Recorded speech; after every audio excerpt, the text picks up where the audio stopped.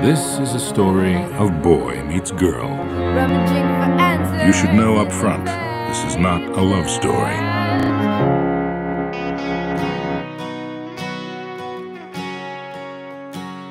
Imagine a world where everyone can only tell the truth Their marriage was ruined before I got there.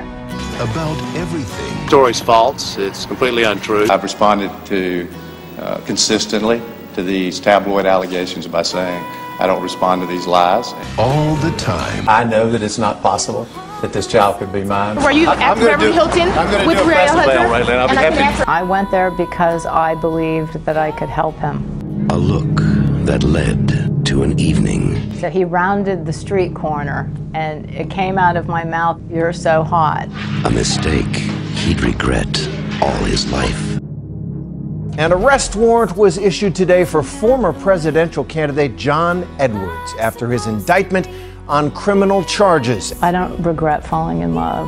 It was short. It was a huge judgment, mis- mistaken judgment. But yeah, I didn't think anyone would ever know about it.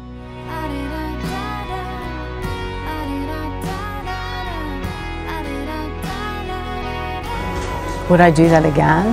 No way.